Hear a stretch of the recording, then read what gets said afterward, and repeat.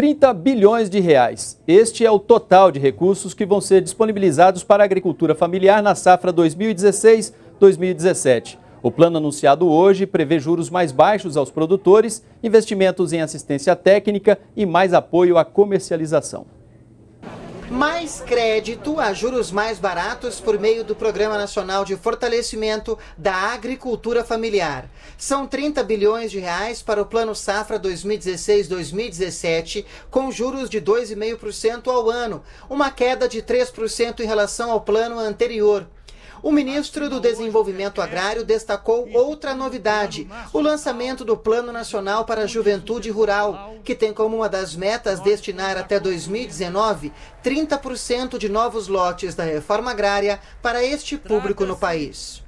Trata-se de um compromisso assumido em 2015, um plano construído com a sociedade civil por meio do CONDRAF e das 130 conferências territoriais de juventude que se realizaram ao longo de 2015 e uma grande oficina nacional. O Plano Safra da Agricultura Familiar 2016-2017 garante 500 milhões de reais para a comercialização da produção agrícola do setor por meio do Programa de Aquisição de Alimentos, o PAA, e coloca em funcionamento a Agência Nacional de Assistência Técnica Rural, que vai apoiar a produção orgânica de 600 mil agricultores assentados da reforma agrária. Para a Confederação Nacional dos Trabalhadores na Agricultura, a CONTAG, o Plano Safra representa um avanço para a agricultura familiar. Eu quero destacar os avanços,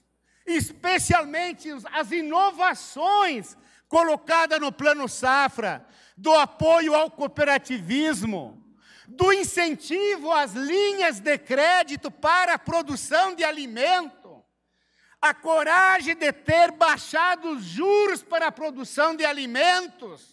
A presidenta Dilma Rousseff lembrou do papel estratégico da agricultura familiar e da evolução do setor no Brasil, além do apoio do governo federal à produção dessa modalidade. Desde o início do governo Lula, eu acredito que nós tivemos uma imensa evolução.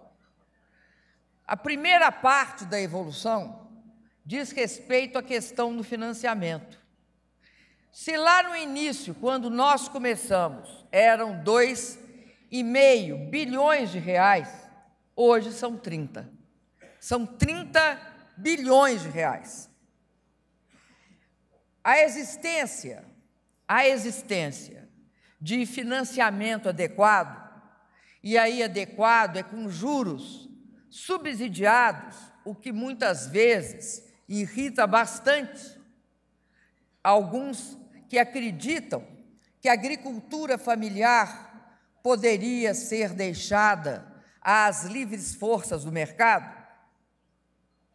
Nós temos consciência da importância desses juros subsidiados e dos 30 bilhões que devem ser crescentes, porque significa que cada vez mais nós temos conseguido transformar os nossos agricultores familiares, que antes, por carência de recursos financeiros, eram em número muito menor, tinham uma produtividade muito menor e agora, crescentemente, são capazes de viver da renda do seu trabalho.